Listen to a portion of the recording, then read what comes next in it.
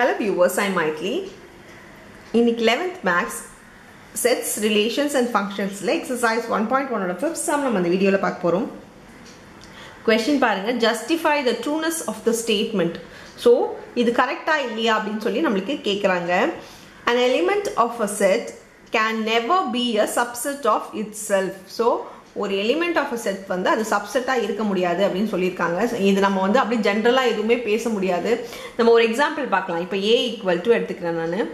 One and two கம்மியாக எடுத்துக்கிறேன் set அப்போ தான் ஈஸியாக இருக்கும். ஸோ இதோட சப்செட்லாம் என்னவா இருக்கும்? சப்செட் ஆஃப் ஏ என்னவா இருக்கும்?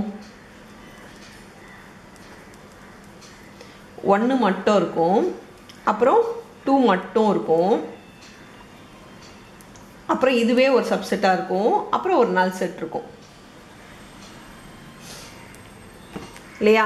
ஒன் இருக்கும் டூ இருக்கும் ஒன் டூ இருக்கும் அப்புறம் ஒரு நல் செட் இருக்கும். சரி.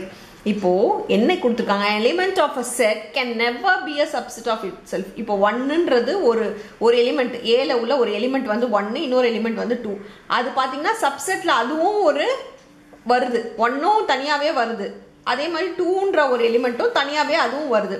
ஸோ இப்போ என்ன கொடுத்துருக்காங்க? An element of a set can never be a subset of itself கிடையாது. ஏன்னா அதுவே வருதுன்னும் போது it is an element of an element can be a subset so இது நெவர் வந்து தப்பு. நம்மளுக்கு வராமல் இருக்காது. அதுவும் வரும்.